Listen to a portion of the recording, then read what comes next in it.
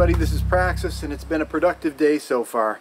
If you look below you, you'll see uh, one of the trusses is down on the deck right here. That's the first one I built, but it's the last one that's going to go up. I'm using this as a template. I uh, built the whole thing and screwed it down onto the deck so that I can build all the other uh, trusses on top of it.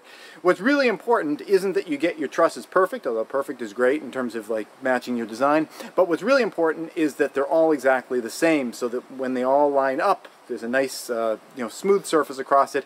As I was building the uh, floor joists, I kept sighting across them, making sure that they were all perfectly in alignment with each other and that work went pretty well, and hopefully this is going to go well also.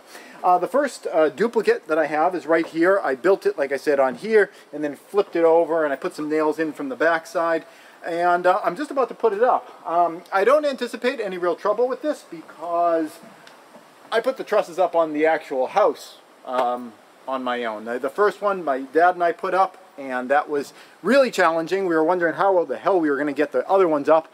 Uh, and then somehow the next day I was just working on my own. He wasn't around. I got antsy and I figured I'll just put it up myself. And somehow I did it. If you want to go back, I don't know what day that is, but you can. I've got a video of me putting up one of those trusses all by myself. The entire like triangular uh, truss up there. So anyway, this is a lot lighter than that, so I'm not that concerned about it. But you know, we'll see. It could be a total disaster. Uh, so there are slots in, uh, at the end there. I'm going to take this, slide it back just a little bit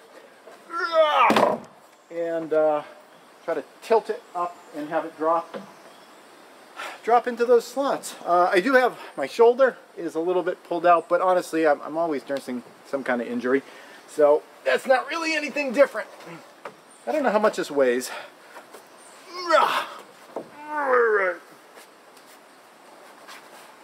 Okay, cool. So uh, hopefully I can just kind of walk it. Wow, this feels really tenuous.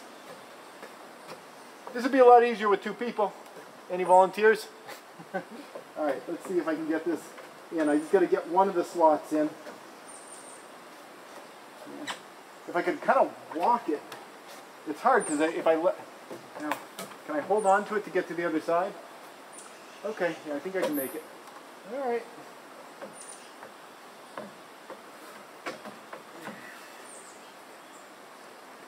Oh boy.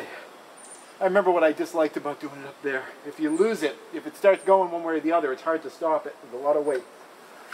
All right, I'm to see if we can drop this in. Okay. Ooh. All right. One side in. See if we can get the other side in. It's always good to have two people for things.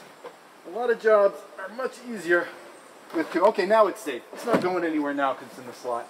All right. So that is the basic shape of the thing. That's all right. This morning when I started doing it, I did modify my design a little bit. Originally this back wall was going to be four feet uh, tall, so I could use eight foot boards, cut them in half. But I was just looking at it, it just felt too small. This base was really robust, this can hold a lot of stuff. And I was thinking, yeah, I should make this a little bit bigger.